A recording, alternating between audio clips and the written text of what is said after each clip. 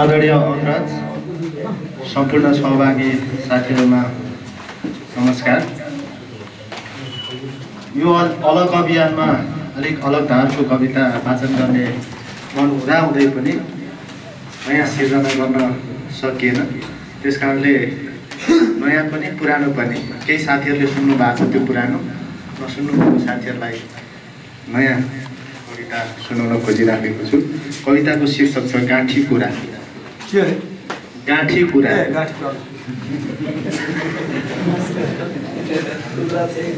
घन्टा दिन दिन महिना महिना वर्ष बिति गए जस्तो लाग्छ घरबेटीलाई घन्टा दिन दिन महिना महिना वर्ष बिति गए जस्तो लाग्छ घरबेटीलाई किनकि उसँग कहिल्यै नअगाउने दिलमा एउटा भुँडी छ।